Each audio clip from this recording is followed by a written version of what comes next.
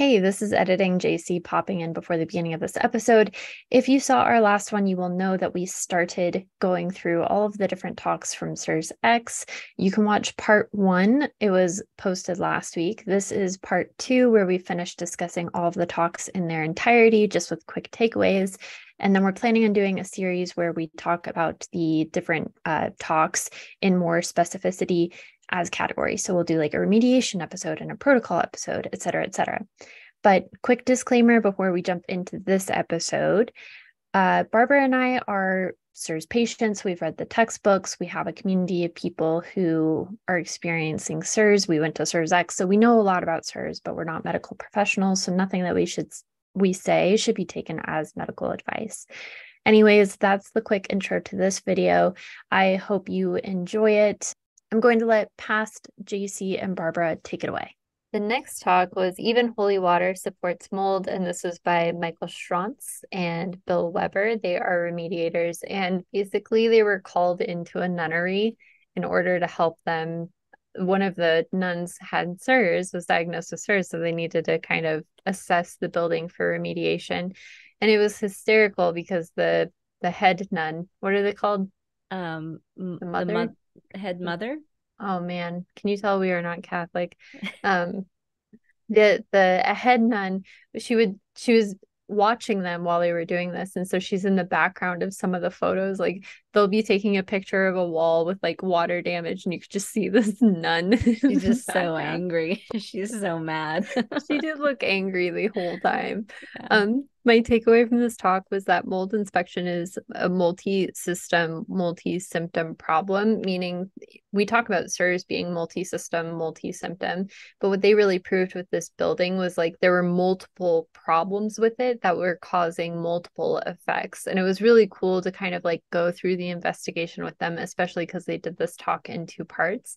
I feel like i have a much better appreciation for what remediators go through now yeah, that was fantastic. It was one of my favorite talks, I have to say.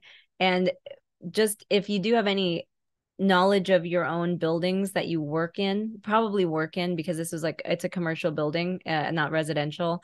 Um, but it was built in phases, and at the phase points where one building was built and they decided to add on like years later, that's where a lot of problems happened because the architects did not. You just uh the just such preventable problems occurred and it was really heartbreaking to see all of that and the other preventable problem that caused a lot of the damage was actually just poor maintenance just people not taking care of buildings the way they should so educating yourself on proper maintenance of the home that you live in or making sure the maintenance team where you work knows what they're doing as well as you can figure that out um, or help with that uh, is seems to be really crucial. That was my big takeaway for sure.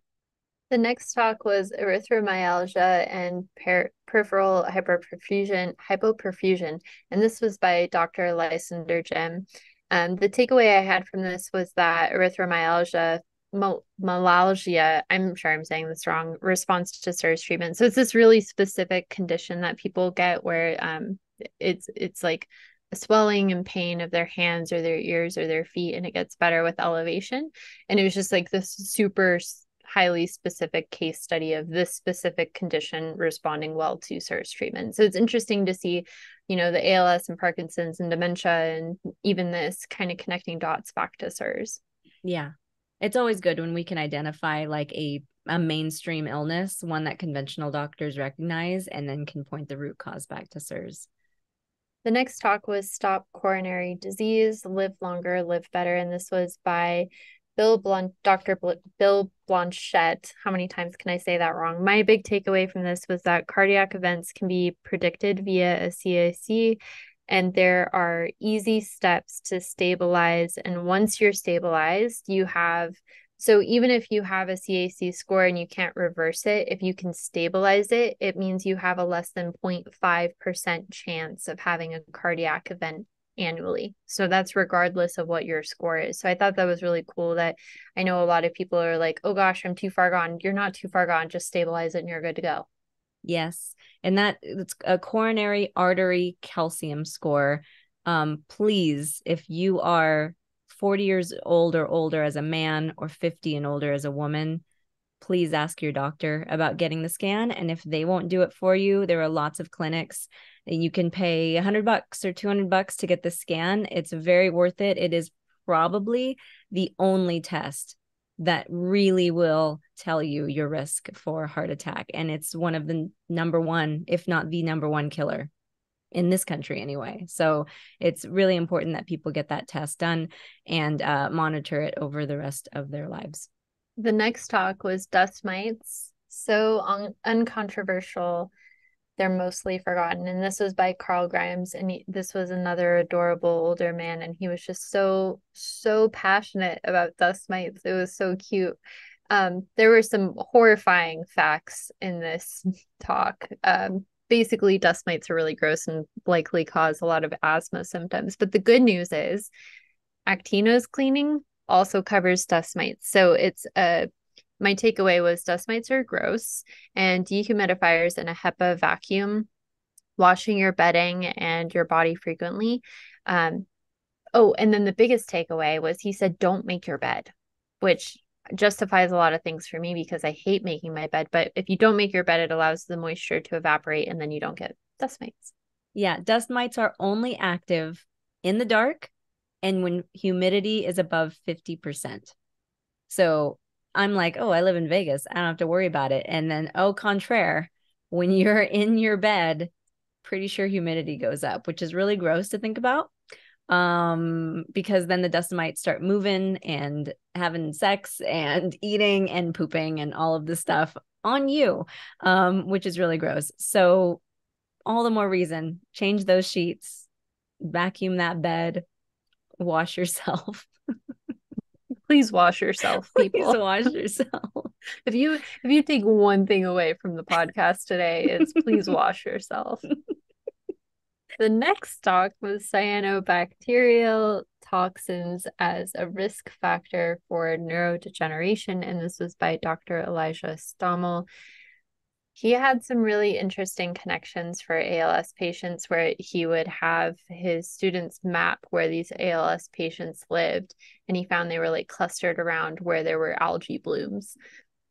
So my biggest takeaway from this was algae is scary. Yeah. Uh, mine was ALS equals algae blooms. Yeah. I mean that's I that's so specific. It was crazy how he would he would be working with one family that lived on a lake and like the husband the wife and the caretaker of the grounds all got it you know or, or whatever like he it just it yeah it, it, was so to me it's like so obvious like that that that is the problem and it's just crazy that more people may might not know about it yeah so it's cool that CIRSx are bringing in like these kind of like adjacent CIRS topic uh, yeah. practitioners so that there can be more awareness and we can start studying these things. Right. The next talk was coagulation, CIRS, and Genie, and this was done by Dr. James Ryan. And this is the the man who invented the Genie. So if you're not familiar with the Genie, it's a genetic test you can get. You typically get it at the start of your CIRS treatment, and it'll show you two things. One, the biotoxins that you might be sensitive to. So it can show if you're spiking for like mycotoxins or actinos. The other thing it can show you is the errant genes that uh, CIRS has turned on. So basically, the inflammation from CIRS puts so much pressure on your transcriptome that it can start triggering things like autoimmune conditions. And the Genie shows this. So I'm I nerd out about this. I think it's an amazing tool. I wish I had gotten it at the start of my CIRS treatment. But my takeaway here was that the genie shows the details but the neuroquant shows the bigger picture. So it showed the neuroquant is the mri brain scan where you can see the neuroinflammation. So that's where you see kind of like the effects of what is happening in the genie. So i thought that was so fascinating. Yeah definitely. You summarized that beautifully. Moving into day number three this was sunday. Um, by this day we were kind of sunsetting. We mm-hmm. that we were at this point struggling. This was the last day of CIRSx. Uh, I did take notes. Um, so the mm, one talk I didn't take notes for was the foundations training. That was actually the first talk on uh, Saturday, and that was by Jesse Salas. And then the oh, foundations yes. training is actually by Dr. Eric Goodman. And this is kind of a funny story. I've been doing foundations training for a little while now. I had a friend who was like, "Oh, you have pain here and here. Watch these videos, um, and it'll it'll walk you through a protocol so you can get rid of the pain." But the the videos were in Telugu because my friend is Indian.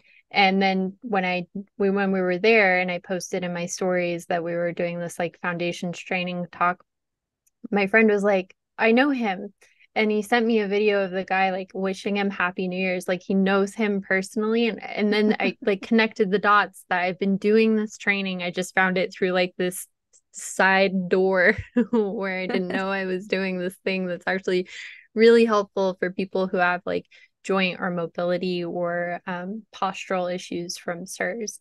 So that was really cool. Yeah, totally random. And uh, I like it when those moments happen because it's almost like the universe is telling you, yep, you're in the right spot.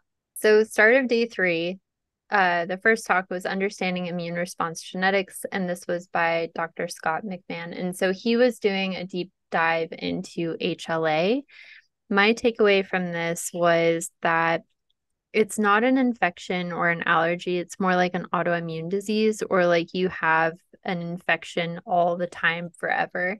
So essentially, your body is just res- constantly creating this inflammation. It's it's less like the biotoxin is an infection and more like you have an autoimmune condition where your body is attacking itself with this inflammation. Yep. It's um as Dr. D puts it, a disease of vehement, uncontrolled immunoreactivity. It's not necessarily the biotoxins themselves that are directly causing, uh, I mean, they are causing the issues, but they're not because it's just your body going nuts uh, on itself. So, yeah, great talk. The next talk was historical versus modern dust, and this was by Greg Weatherman. Uh, my takeaway from this talk was that an IEP needs, and an IEP is an indoor environment professional, aka a remediator. Um, they need to be a project manager of the whole remediation, otherwise, things can be missed or mishandled. Yes. And my main takeaway is that you can cut open plastic trash bags and either tape them to the wall or put them on the ground or put them on some other horizontal surface to collect new dust. That's uh, just a little trick that I guess a lot of remediators use. Um, and that was discussed further in the panel discussion at the end of the day as well. The next talk was osteopathy as an adjunct therapy for those with CIRS, and this was by Dr. April Vukelic. And I loved this talk. She shared a lot of before and afters. So I wasn't familiar with osteopathy before this, but it's actually like hands-on doctoring where they do like physical manipulation of you and she would show these before and afters and my takeaway was um, the body wants to heal it's we say this a lot the body wants to heal it's all about supporting it in the way it needs to be supported and then getting out of your own way but then for the before and after photos i was like um people are prettier? They were. They were. In every case, they were like more symmetrical and and prettier. It was weird. Yeah, like it, they they didn't have like inflammation in their face. They were more symmetrical. If they had like any misalignment, it was aligned for people who had like hunchback. Their their posture improved. Like it just made people prettier. Like how do I sign up for this? Yeah, no, it was great. And for anyone who's so so when you see like your doctor can either be an MD or a DO, a, a DO is doctor of osteopathic medicine. That's what uh, April is, and she, I guess, it's more uh, prevalent in Europe. Um, she also mentioned that there are vets that do it, and that is very true. And I got very excited about this whole thing because one of my dogs has some joint pain that I would love to get addressed. But unfortunately, uh, any resources that I found on it were UK based or whatever, you know, just somewhere not in the United States. So if you are outside of the United States, that is one thing that you guys have more of than than we do here are uh, doctors of osteopathy and and you probably have more people familiar with that practice. Uh, in fact, she referenced uh, quite a few members of the monarchy uh, uh, that utilize uh, this practice just in, as general as their general health. So I thought that was funny. That was an amazing talk. And the next talk was Holy Water Part Two. So again, this was Mike Schrantz and Bill Weber. And the takeaway I had from this one is that it's very, very rarely ever one thing. Bad maintenance and bad building practices are pervasive and systemic. So if you have an issue in one place, it's very likely, you know, where they cut corners in one area, how likely is it they didn't cut corners in another area? The next talk was House Hunting with CIRS, and this was by Jennifer Schrantz. And that last name might sound familiar. She is, in fact, married to Mike Schrantz. And this talk was incredible. She's a realtor. She talked all about the buying process and how she helps her uh, clients with CIRS buy houses. And like, if I could buy a house with her, I 100% would. My takeaway from this is that we aren't looking for perfect. We are looking for peace of mind. And that was a direct quote from her.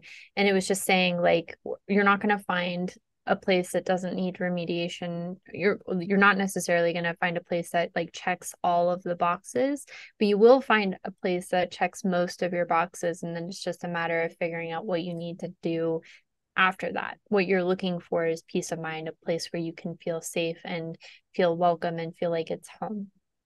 Yeah she she really broke down a wonderful plan for how to house hunt as a person with CIRS, what to look for, what tests to make sure you get within the window of time that you are able to to do tests and still back out of your contract without losing your earnest money, which I thought was um I mean it's things that you can logically figure out, I suppose. Um but it was really nice to see it laid out in a plan. Um, and they, the Schrantzes live in Tucson. So if you're anywhere in that vicinity, uh, you can definitely utilize her services. But the wonderful thing she also added is that she does have her own reference list of uh, real estate agents who are CIRS aware across the country. So she always wants to know if she if there is a realtor you you've used. Um, so so definitely reach out to her and let her know uh, if if you were pleased with your realtor's ability to handle CIRS. Um, but otherwise, if you're looking for references and you don't live in Tucson, you can still reach out to her for that. The next talk was benzo induced neurologic dysfunction, and this was by um, Christy Huff. I wasn't super familiar. Like I knew benzo withdrawal was a thing, but I didn't know like what a thing it was. This one kind of broke my heart a little bit. Um, my takeaway here is that bind, which is benzo-induced neurologic dysfunction, is scary. Like it's it's scary that practitioners put people on this medication and apparently I, I mean i would hope not knowing that they could have all of these side effects as they try and what like get off of this medication. It's horrifying to me that this can happen. Yeah, the fact that it's prescribed mostly for anxiety and the fact that in some cases it can actually make your anxiety worse over time, over over prolonged use. Uh, that's insane. Um, if anyone's familiar with Jordan Peterson, this is basically what happened to him and you know he nearly died from it like it's a it's a really horrific physical it's a physical addiction which is different than like that that your your usual like drug user addiction where you're just craving it um, or using it to cope. It it actually as you use benzos over time your body becomes physically it needs it. And and to drop it cold turkey can actually cause horrific side effects including death. Um, and so her whole program actually helps you again like on a protocol very very very carefully and slowly taper off of them. Um and and then when you do taper off you will hopefully see a, res- a resolution to most of these really awful symptoms. Um but again going back to support groups um, I mean, that really, she really hammered home how important the community was in these situations, having somebody to help you through it. Because it, I mean, it is basically an addiction, so it's it's similar in in a lot of ways. You do need that support to help you get through it. Yeah, hundred percent. And that 100%. concludes all of the talks that we went through. Um, the only other thing I wanted to mention was the vendors we saw there. Some names you might know: Defense Soap, Envirobionics. Uh, there were P- PD Labs, which I know a lot of people get their CSM from. Omaprem, which is the uh, SPM that we we take as fish oil supplements. So it was cool to see them represented there mm-hmm. as well. Air-Oasis, their yeah. filters. Pretty um, much then, anyone who gets anyone's name who gets thrown around as a recommendation to purchase from uh when you have CIRS was there. And that was that was cool to see. Sirewall was there as well uh which was great. They're they're like based in Australia I think or at least the guy that one of the main guys is and he was there. So that was cool. Yeah it was really cool to see everyone like turn out. And then I was fangirling a little bit because it's like all the the CIRS rock stars are there you know like Dr. Ritchie Shoemaker uh, video called in, but you know, Dr. Dorninger and Dr. Scott McMahon, and um, you know, now I have my favorites Ming Dooley and John Banta and Carl Grimes. Um, but it was just really cool to see these people who have done so much work in the CIRS field and the awareness of CIRS and treating CIRS patients for so long. Dr. Jimmy Ryan, the in the inventor of the genie, like, come on, we were yeah. spoiled. And it was also worth mentioning on the very first night that we were there, they did give out awards. And those are usually like, oh, whatever, some awards. Everyone's congratulating each other on whatever things. Like when you go to a conference, you're like, what are these going to be? The Dundies. Um, but they did give, uh, Dr. D gave the award to Judy. I forget if it was called, I think it was the Angel Award, right? No, it was something different. Yeah, it was something different. I didn't write okay. it down. Yeah, I didn't either. But the point is, he he actually broke down when he said that Judy has done more for CIRS in one year than Dr. D feels that he has done in 10. And it's so true. She brought it to the carnivore space. And of course, the carnivore space is full of such sick people. Why? Because who else would be drawn to such an extreme diet? Uh, and so um, Judy was the perfect um, just uh, amplifier of the CIRS message to a community that desperately needed it. And that was really cool to see her recognized amongst everyone else there in the community for what she's done. I'm so glad I was there to experience that as well. And I'm I'm glad they led with that on the first night as well. Yeah. As we mentioned, we're going to do recap episodes of more specifics. The next one I think we're planning to do is remediation. So keep an eye out for that. And in the meantime, if you're looking for more resources and support on your CIRS journey, you can join us over at theCIRSgroup.com. See you there.